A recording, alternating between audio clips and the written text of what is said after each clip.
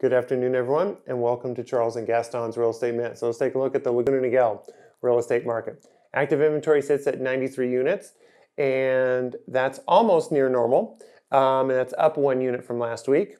In escrow units is 119, but that's down 10 units from last week.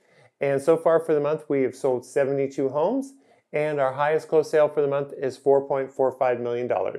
Please give us a heart Please give us a like, and we'll catch you next time on Charles and Gaston's Real Estate Minute.